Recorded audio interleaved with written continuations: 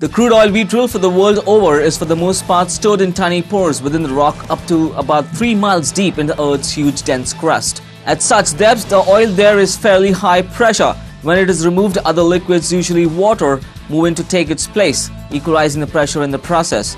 Sometimes oil extractors pump water into the one side of the oil field to push oil towards the well on the other side, and the water replaces the oil accordingly.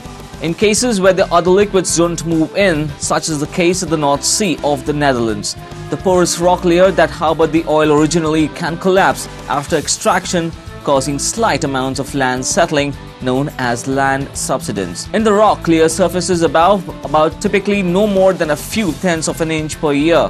Here in the US, land subsidence uh, induced by the large volume of extraction of underground resources including oil and gas is more common than most people realize, according to the US Geological Survey, a government agency which collects, monitors, analyzes, and provides scientific understanding about natural resource conditions, issues, and problems. Flat coastal plains and wetlands near sea level are most at risk from this potential side effect.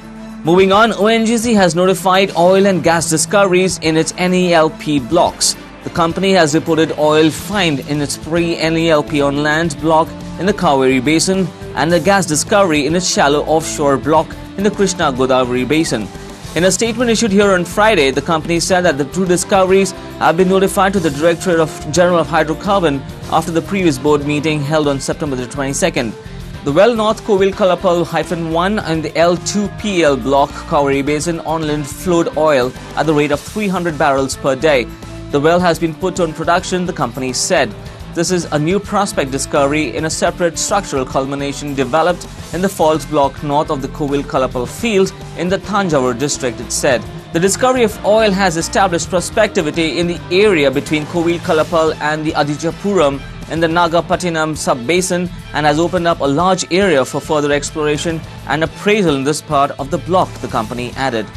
Also making news to the Waves desk today is an exploration company that is conducting seismic examinations in the Dayton region to search for possible oil and natural gas deposits, although a state geologist said Western Ohio hasn't been productive for efforts.